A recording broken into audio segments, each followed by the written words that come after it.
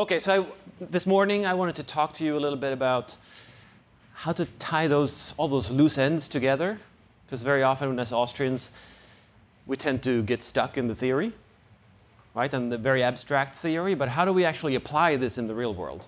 And can you actually, as an Austrian, can you be a good entrepreneur, for instance?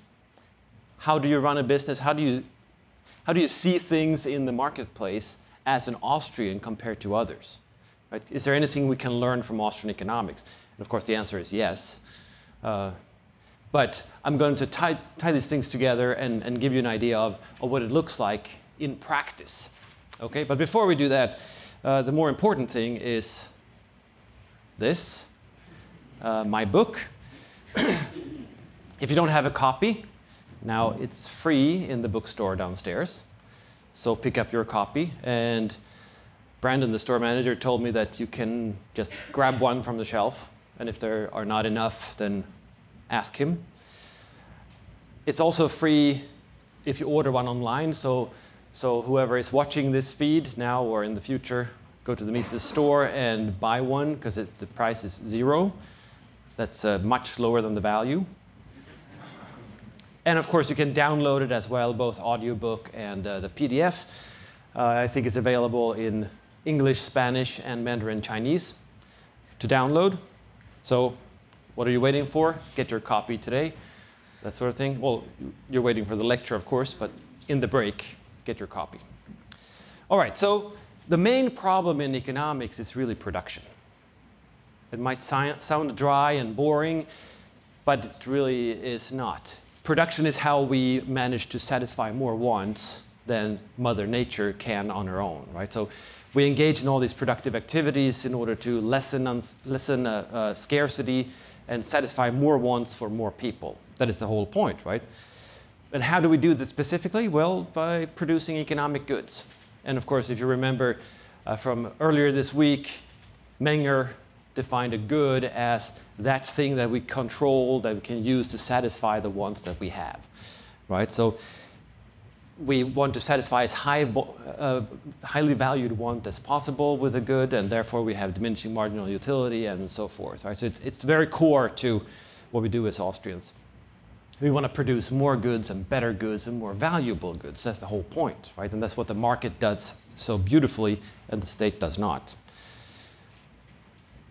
Another thing that we should recognize is that production precedes consumption. That might not seem very strange, because very few of us have eaten the bread before it's baked.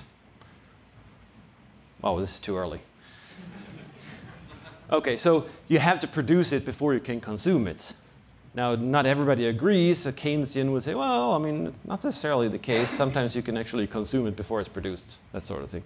But the, the point is that you have to engage in the productive activities before there is anything to consume.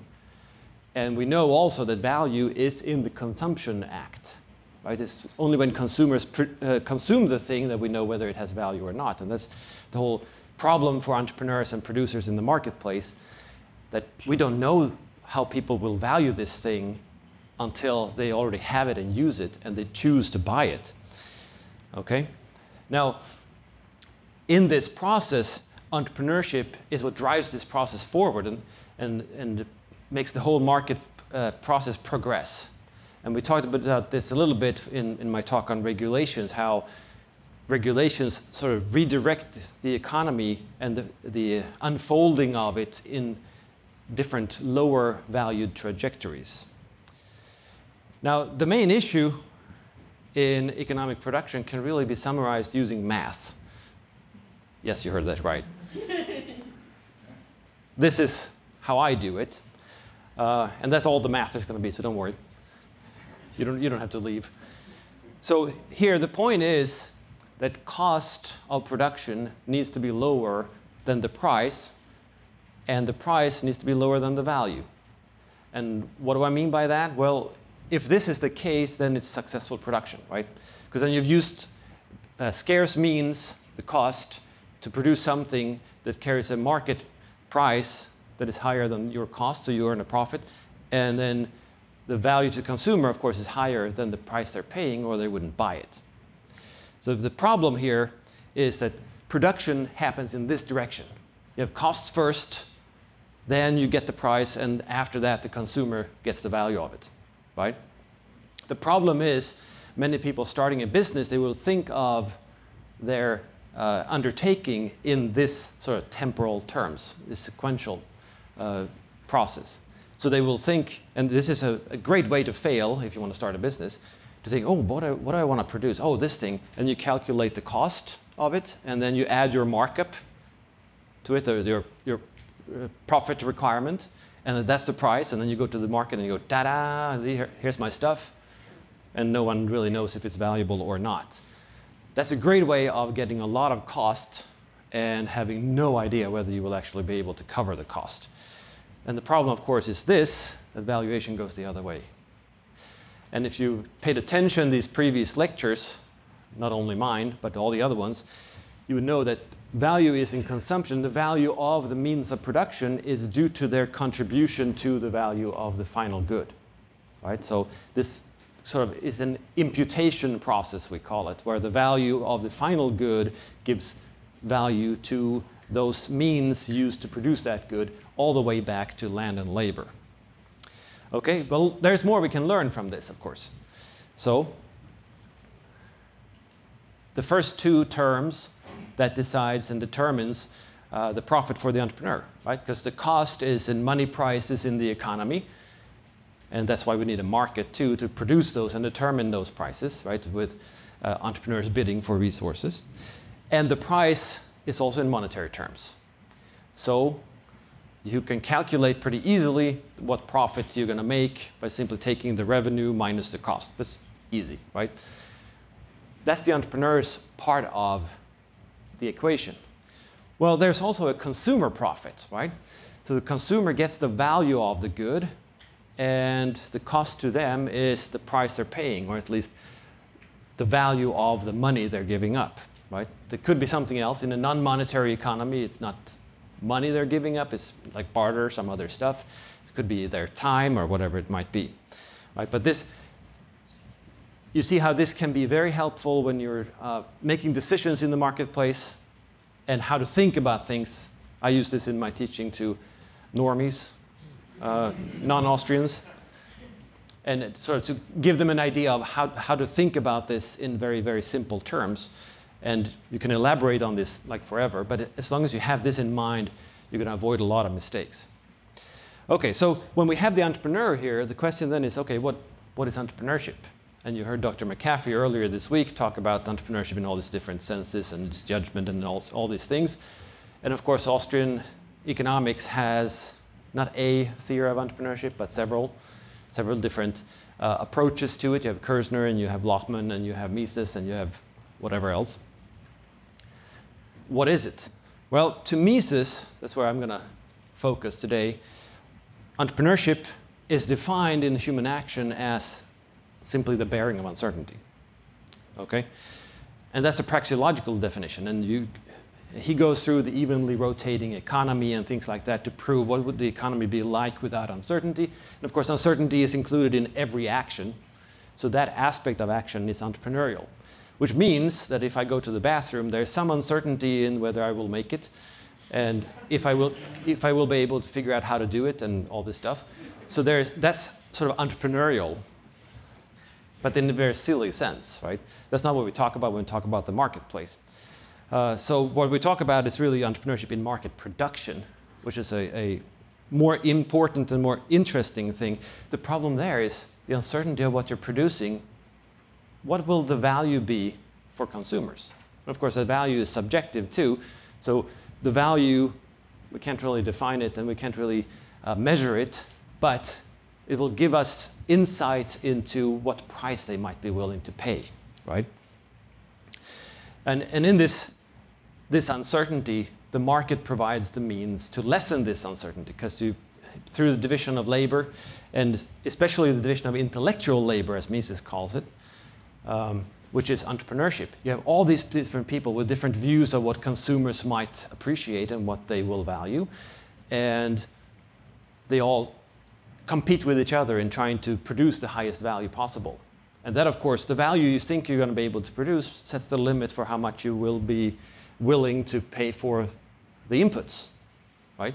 So again, you have that you have to buy the inputs first to, in order to produce the outputs, but the valuation of it is the other way around, right? So an entrepreneur should properly think about, oh, how, do I, how much do I satisfy consumers, the intended consumers, with this intended good?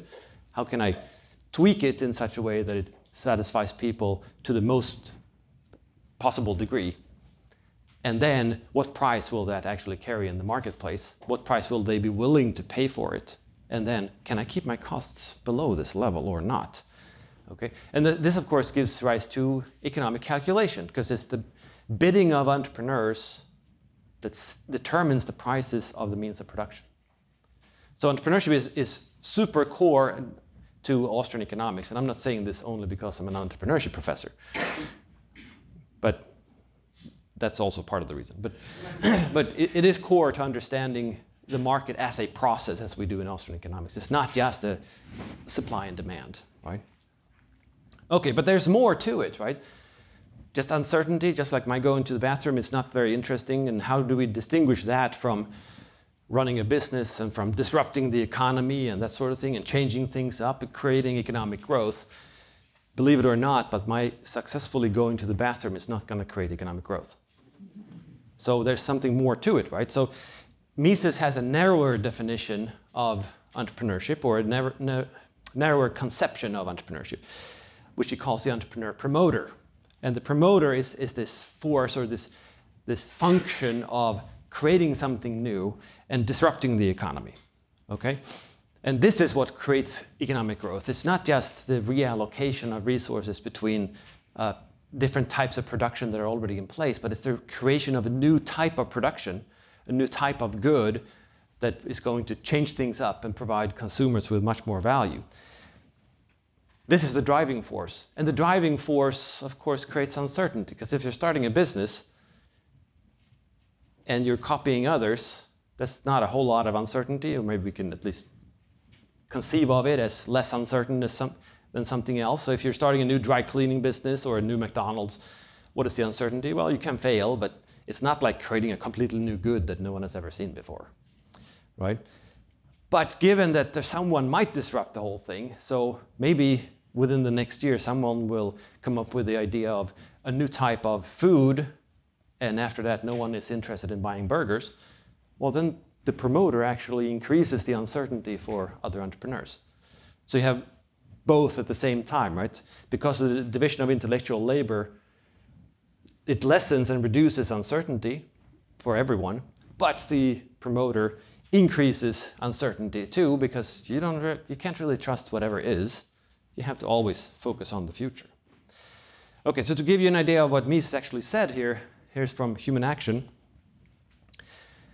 He had a little bit of a problem, right? That the, the entrepreneur promoter he couldn't really define it praxeologically because did, there was like no way of taking it from the concept of action and deriving, oh, the promoter compared to non-promoter entrepreneurs. What, how do you do that?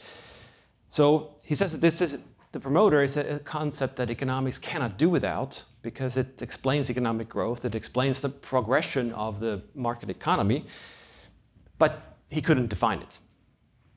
And of course, this, this sucks, to put it in, in Misesian terms. because he, the way he puts it is that the driving force of the market, the element tending toward unceasing innovation and improvement, is provided by the restlessness of the promoter and his eagerness to make profits as large as possible. So you can see how it is the driving force, but if you can't define it, then we're in trouble, right? But we can, we can still talk about it. Of course, in practice, it's, it's pretty easy.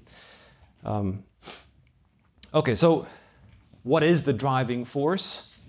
Well, Mises uses different ways of, of sort of describing what, what the driving force of the promoter actually is, and is talking about, like I saw on the previous slide, unceasing innovation and improvement. The promoter is the pioneer.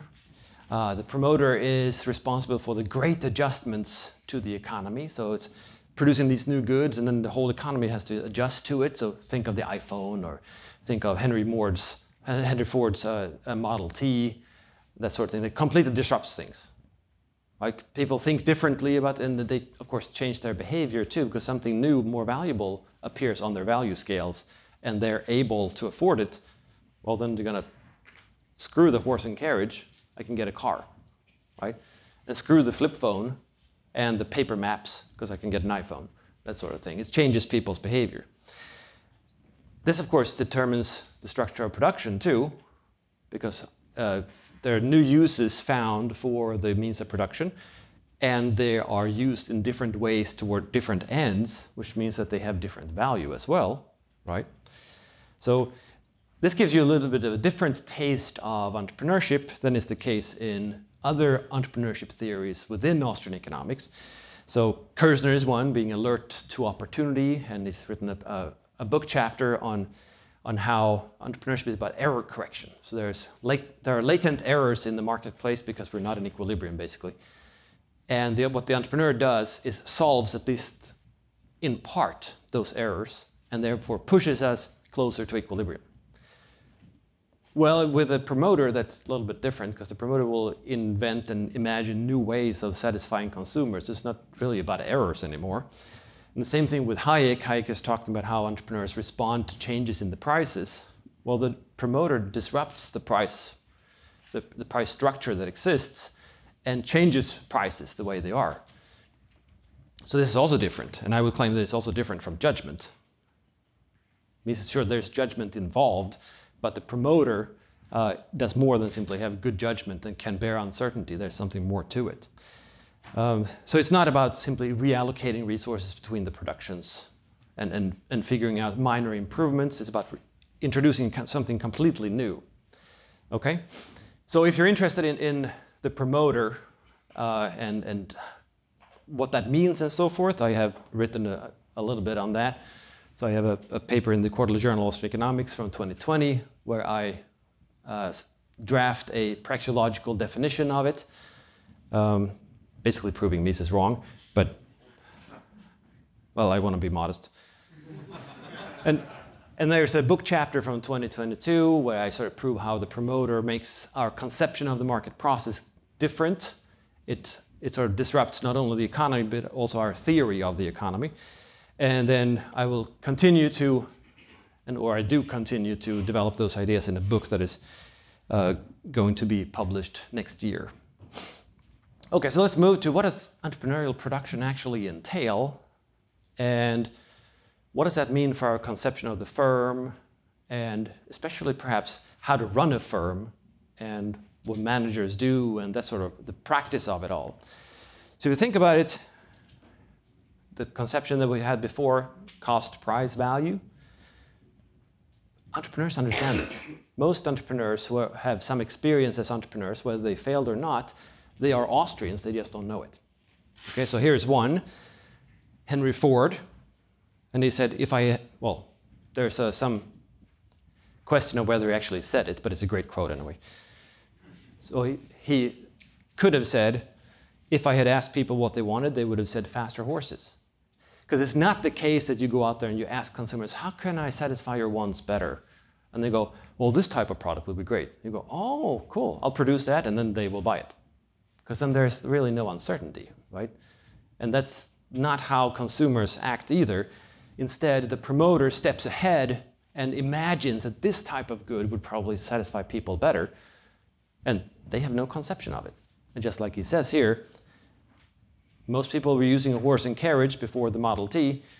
So if they would ask people, how can I make your lives better? They would said, faster horses, or a horse that doesn't poop as much, or whatever it might be, right? But he had a different idea. His idea was, how about a carriage without a horse? Well, no consumers thought of that because they thought it, probably thought that was silly, right? But of course, they bought it when they saw it. And here's a more modern uh, entrepreneur, but also dead. Uh, I hear dead white men is, is the way to go nowadays. so this is Steve Jobs, uh, Apple Computers, right? It's really hard to design products by focus groups. So it's something that you do in businesses, right? You invite consumers and then you have them talk about their feelings and their reactions to a product. And it's a helpful tool, but you can't really ask them to design the product. You can only ask for their reactions to the product. Because their imagination is of how to satisfy their wants is, is very limited. Most of us cannot imagine the exact product and how to produce it, because that's part of it, right? The economic calculation of it. So we can respond to it, and we do that all the time, and we find new value, right? When you go to the store, you might have a grocery list or whatever, but then you see, oh, that thing is on sale, or oh, that looks really tasty, and you just change your mind because you respond to the, the offers and, and the products that are available, okay? And that's the, the problem with entrepreneurship, of course. So what do entrepreneurs do in production? Well, they imagine, organize, and produce a good that consumers will find of greater value than any other goods that will exist in the future. See the, Uh, the emphasis on the future, because the, that is what the uncertainty that entrepreneurs bear. It is what, the, what does the future market look like, and will I earn a profit in this future market with this product that I intend to produce? And it's the case even if you are producing something that already exists, because you don't know because of the potential for disruption that whatever you could sell a ton of today, you can actually sell in the year. Right? Because the market might have changed, the situation might have changed, people's behavior has changed, things like that, right? So the point is that the entrepreneur must attempt to foresee and act to exploit the future market conditions. And this is the uncertainty bearing of it. Okay, so what, how do we think of, or how can we think of this uncertainty then? Well, I had a paper that I failed to publish. It's still good. But where I try to figure out, okay, so what is, if we would decompose uh, the value problem for the consumer, how do they actually figure out the value of a product and in, in ways that matter to the entrepreneur, right? Well, the first thing, of course, is that you have to provide them with a good that they value. Nothing else, right? Does it satisfy their want? That's number one, right? That's pretty easy. Well, the second is, is it better than other goods that satisfy the same want? In that situation, of course. Right? So there are other goods that do the same thing, and they're obviously substitutes.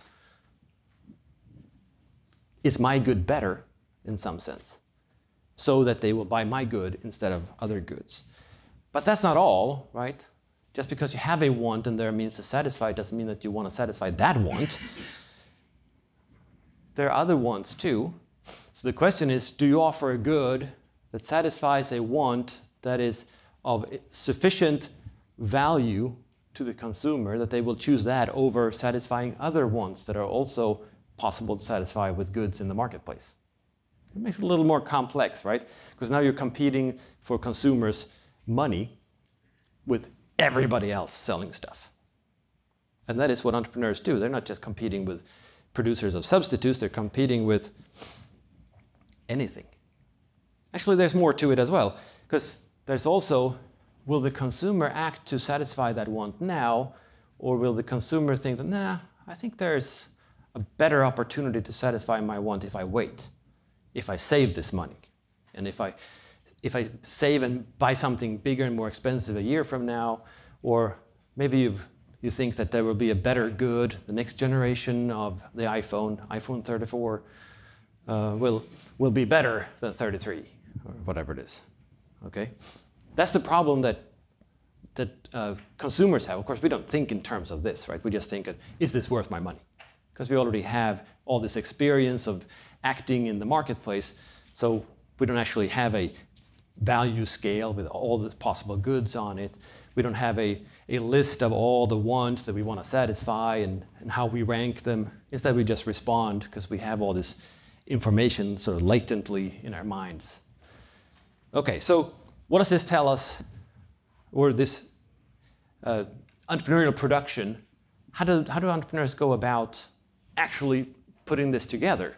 Because it's not the case that you just go online and then, and then you just uh, buy stuff from that guy, from that guy, and they put it together. That's a, that's a good, right? There's much more to it. Well, that brings us to the firm. Now, what is a firm? That's something that economists have talked about for 100 years and they still have no good answer, which in part is because they're asking the wrong question, and in part, of course, is as long as you don't answer the question, there's more work to do and therefore a job. But there is, of course, an answer to it, right? So first of all, we must recognize that the firm is not just something that emerges or something that is created because the equations say so. No, it's something that someone has to purposefully create. And who is that someone? That's the entrepreneur. Right? So they have to create it for a purpose. And what is it? Well, you are trying to orchestrate a certain type of production of something that you think will be valuable, something that consumers will consider a valuable good. It's oriented towards the creation of this value for consumers. That has to be the case. Right? It's not a response to something other than maybe the imagination by the entrepreneur. Right? In this firm, yes, you collect resources, you collect labor, you, you put things together, and you, you draft the process, and you try it out, and all this stuff, right? Well, in this firm, the entrepreneur hires the manager. So the manager is there to run the business, but focus on the efficiency and the effectiveness of production in the business.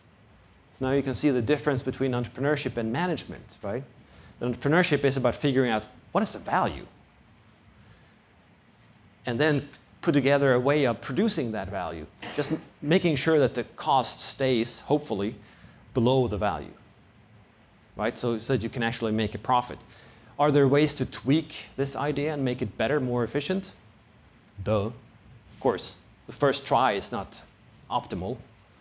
So, what do you do? Well, you hire someone who's really good at tweaking things and figuring out how to cut costs and maybe increase output or or tweak the product a little more because you've already, that's when you already uh, discovered that there is an opportunity for profit here because this new good will be of value. All right, so you hire the manager. The manager works within the realm of what the entrepreneur has defined and tries to lower the cost. Okay, so in a sense, what the manager does is extends the life of the profitability of whatever the entrepreneur put together right? Because entrepreneur, if it's valuable, if it's not, if it doesn't earn a profit, and you don't think that it's going to earn a profit, well, what do you do? You kill the business because it's just a waste of resources and a waste of time. But if it actually makes a profit, well, then what the manager does is extends that profit opportunity because by cutting costs and increasing output and continue to tweak and improve the product, you can continue to earn profits until either you have exhausted that opportunity, so no one wants the product anymore, or someone disrupts the business and offers something that is much valuable, more valuable. Right? So you can see now also that the firm is a temporary way of, of uh, satisfying people's wants. Right? This is not my idea. This is something that Mises talks about too, and he, says that the manager is a junior partner of the entrepreneur. It's hired by the entrepreneur. The entrepreneur is whoever has his ass on the line, pretty much. Right? If there is a loss, who bears that loss? Who has to cover it? Well, the entrepreneur. Then you can share the profits with the manager and so forth. Fine.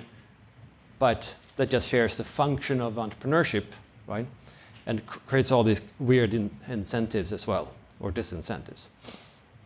Okay, so what does this tell us then about the firm itself, what it does? Well, the way I have conceived of it is, or try to explain it, is as an island of specialization. Because how do you produce a new type of good or, or, or satisfy a new, satisfy a want in a new way with a new type of good? Well, you had to figure out how to produce it. And you had to figure out a new combination of resources, as Schumpeter would put it. And probably you need to uh, create new capital, new types of machines, new types of tools, you have to educate people to do the right things within your new process, which of course will change, uh, change in time with the manager tweaking uh, the whole thing, right? But the point is that this is a new type of specializing within the firm. People are doing things and they have expertise that is specific to producing this new good that didn't exist before. You couldn't just Apple when they when they released the first iPhone, they couldn't advertise for uh, iPhone experts to help with manufacturing and design because there were no such, no such, such thing. There were experts on different parts of the technology, yes, but what about putting it together and figuring out how to make it more valuable to people? That wasn't an expertise available.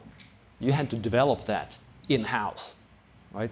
And the same thing with the production process. You had to do a lot of innovation within the production process in order to put this new type of good together. It's not just, it's, entrepreneurship is not about just putting uh, Lego pieces together and build something, right? It's about creating new types of Lego pieces.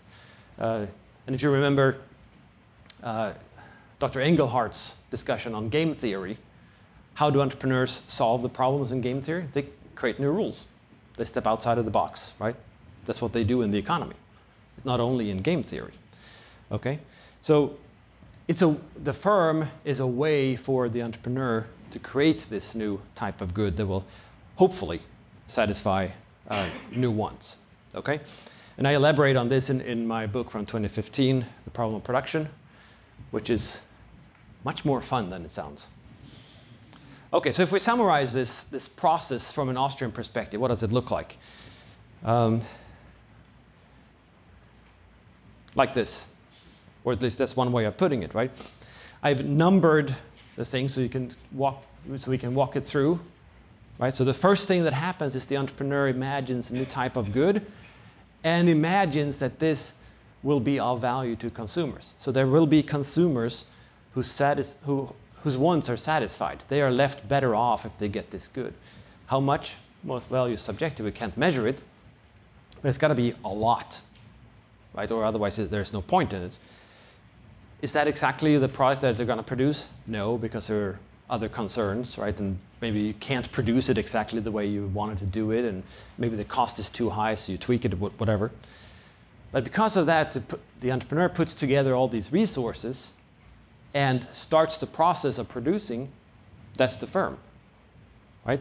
So two creates the firm and hires or appoints a manager within the firm to run the firm.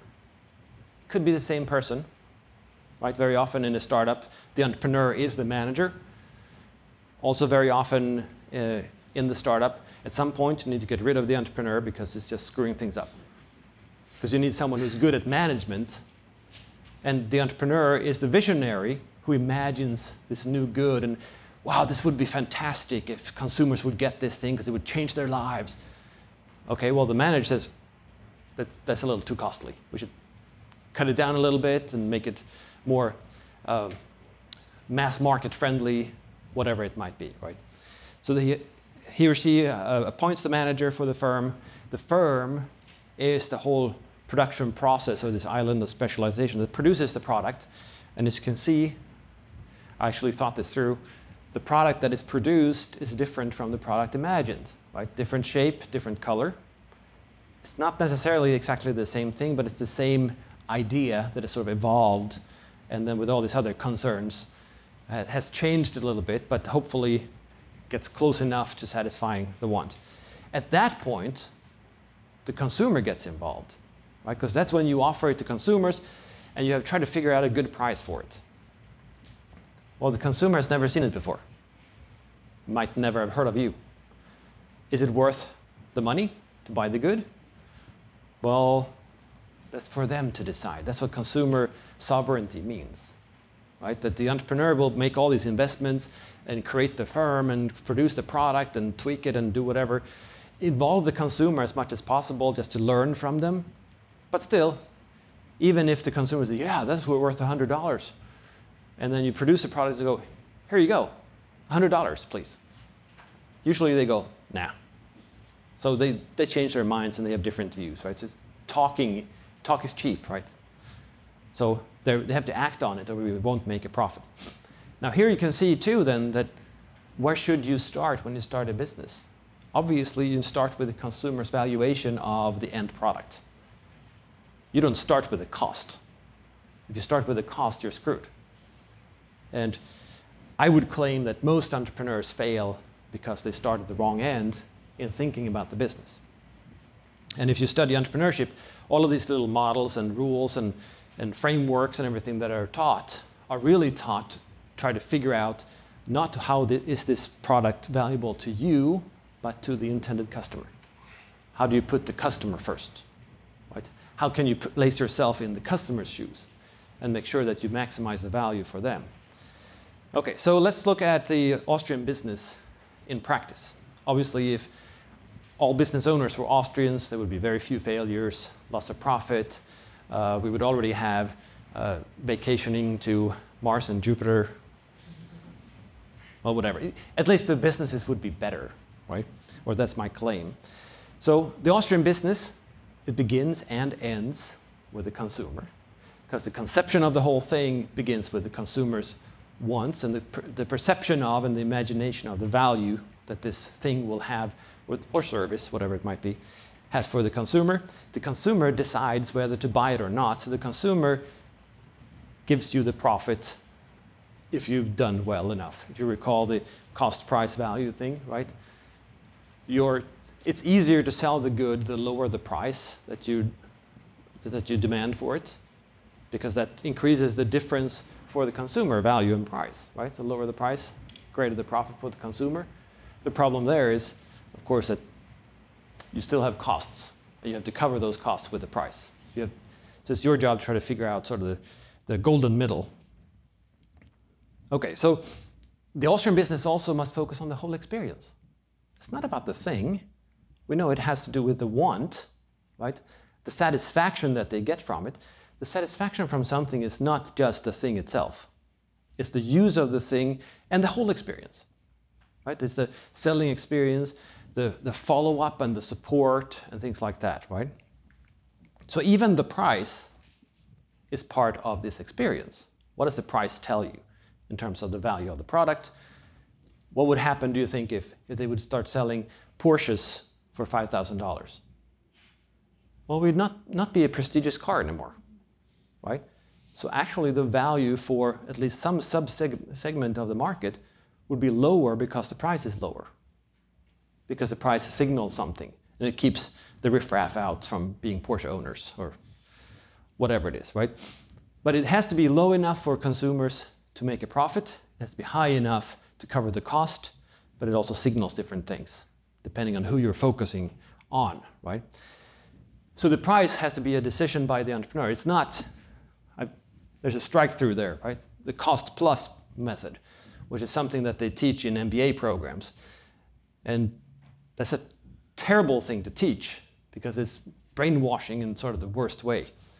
Because what it teaches is that, oh, you just you want to produce this good, you calculate the cost, and you add the profit markup to it. That's exactly the wrong way of doing it. And yes, plenty of businesses do it, and they can sort of do it because they are acting within a sea of market prices. But you can't do it as a, as a promoter. You can't do it as a disruptor entrepreneur, right? Because you don't know. And just adding a markup to the costs the way they are, with your good being much, much better and more valuable than any other good, well, that means you're giving the consumer a lot of profit, but you might signal the wrong thing, and you could get more from it as well, right? So, you, so cost plus, plus pricing, whenever you hear that, run, scream, all this stuff. Get out of it. Okay, what else? Well, we can we also learn that entrepreneurs must they must prefer market prices because market prices are determined by all the other entrepreneurs, right? So it's spreading the risk in a sense, which means also that if you start a business and you include all these different things within your business, you can't really tell, oh, the accountant I hired in the startup of, of 200 people, is the accountant contributing to the bottom line of the business? Well, how would you know? There's no way of knowing, right? But if you buy it in the market, you know exactly what the cost is, and you can tell immediately, is it worth it? Because you're paying the price of it. So an, a, an Austrian entrepreneur would actually minimize the scope of the business to the degree possible and use the market prices for calculation to make sure that you're actually making a profit and you're actually using things in the most efficient manner, right? So in a sense, that means whenever you can, and it, it doesn't imply a huge risk for your business, outsource. outsource as much as possible. Stay with and stick to and focus on the actual value creation, not these other uh, additional services. Okay, so the main task of the entrepreneur is just to imagine how to satisfy consumers. Of course, that involves production and, and technology and, and all this other stuff too, but it is about the value. And you bear the uncertainty of it. Any investment and production implies speculation. Okay, so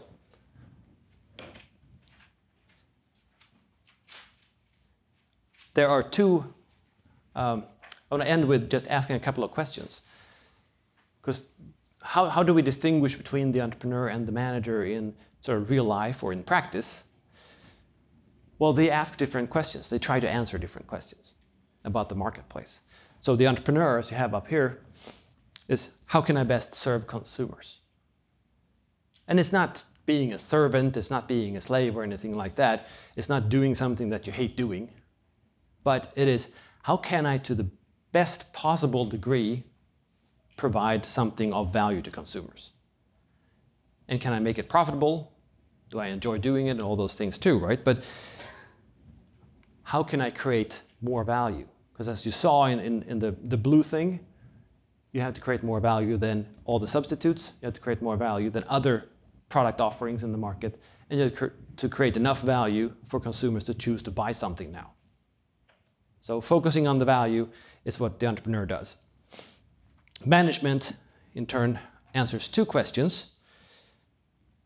And as you can see, the, it's limited by what the entrepreneur has answered already and put together right? So question one is how can we strengthen the firm's value proposition to consumers? Which is how do we tweak uh, the product? It's information you get when you start to sell the product, but of course production precedes consumption. So you've already produced a bunch of them, but then you learn from the feedback and you can update for the next generation and you know whether they will have a want a bigger or smaller one, a heavier one with more gadgets in it, or uh, uh, whatever it might be. Like where are consumers at? What would they value more? But for that one opportunity, okay? And how can I operate this firm in practice more profitably? Which means, in the first question, we've already tried to increase the value of the product, the product that the entrepreneur envisioned by tweaking it. So this question focuses on the cost. Right? How can we cut the cost while maintaining the value of what is produced?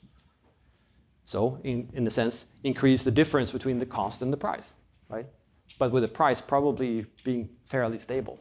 So how do you, how do you reduce the cost while keeping the value basically the same, right? Because if the value falls, it's going to be harder to sell. So again, it's that equation, right? So I, hopefully you have a better idea of how to think about a business from an Austrian perspective.